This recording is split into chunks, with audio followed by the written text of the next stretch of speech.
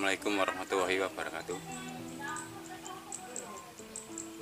Hari ini saya lagi membuat persamaian yang akan ditanam menggunakan transplanter. Di video yang saya upload dulu sepertinya banyak kekurangan dan juga banyak sekali pertanyaan yang masuk. Sebelumnya dasarnya ini sudah kita ratakan terlebih dahulu dan saya di atasnya tanah ini saya menggunakan jenis karpet. Maksudnya karpet di sini untuk menyamarkan permukaan yang tidak rata. Nanti biar tanah yang di bagian akarnya itu bisa agak rata dikit. Kalau tidak rata itu nanti untuk penanamannya agak sedikit sulit ya. Misalnya ada yang tipis ada yang tebal jadi nanti tidak stabil untuk apa itu giginya masuk ke akar.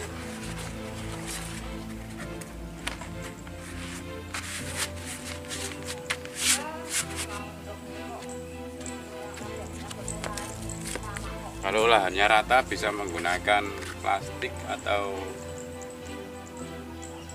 terpal juga bisa ini nanti saya beri lapisan atasnya plastik untuk menahan air saja maksudnya. Karena yang saya tanami ini nanti eh, luas lahannya sekitar 1200 meter persegi. Saya menggunakan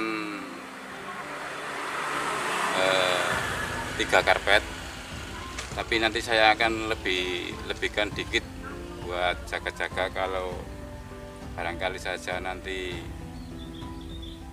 persemenannya diganggu oleh tikus.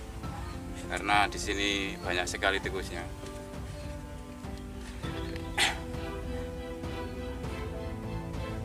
Nanti ini kalau misalnya anda ingin membuat buat luasan satu, satu hektar satu hektar sama dengan menurut saya itu sekitar eh, 700 ru.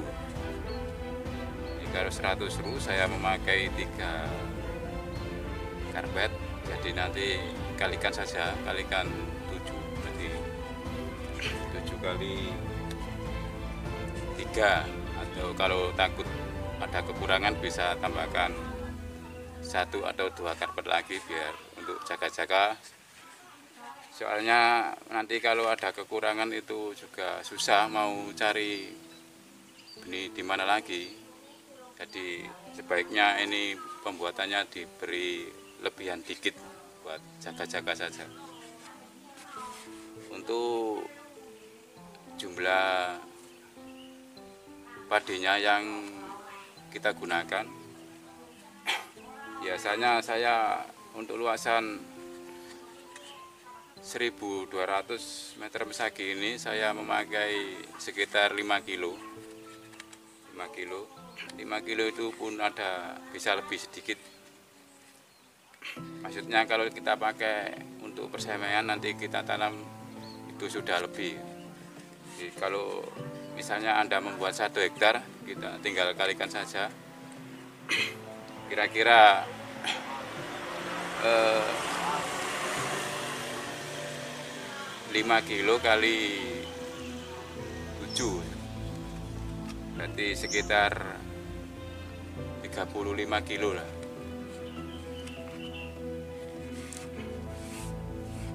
Oke kita teruskan lagi buatannya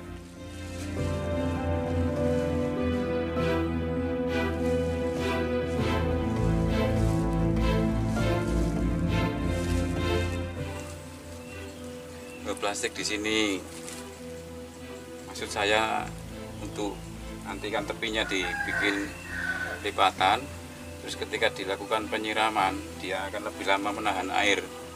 Jadi kita tidak terlalu sering menyiram persemaian ini. Untuk pemasangan plastik dan karpet sudah selesai. Tinggal mengambil lumpur untuk cara mengambil lumpur. Nanti saya akan lihatkan juga cara mengambil lumpur di mana.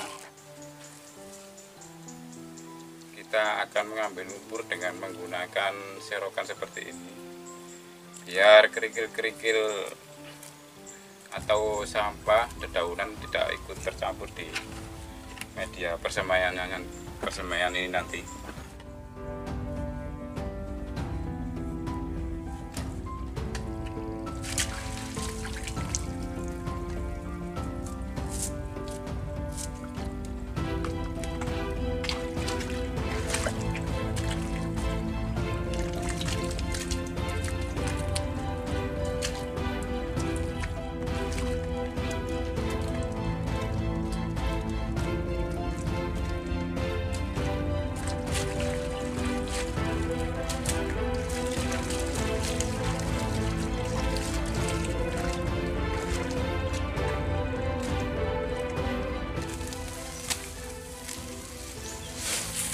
ini adalah dedak bekas penggilingan padi.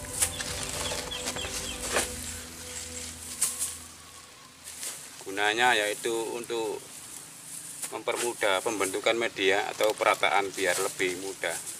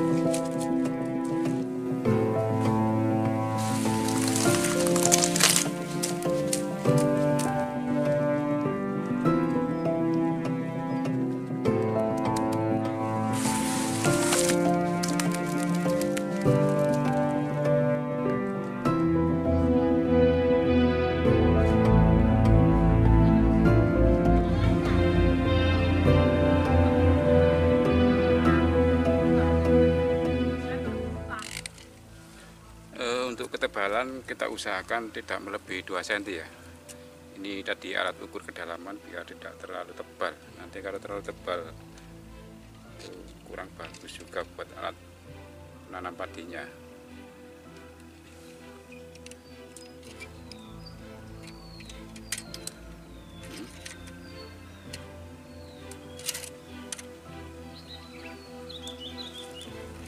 Ini untuk mempermudah proses perataan saja pakai alat seperti ini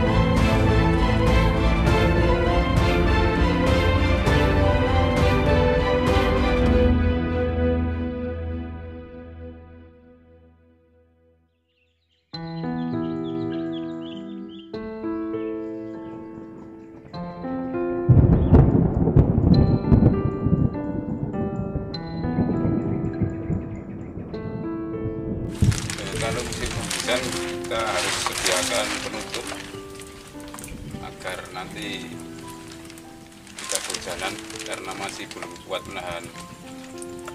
Itu terjangan air hujan. Penutupnya bisa menggunakan plastik bening atau karung. Karung bekas-bekas juga bisa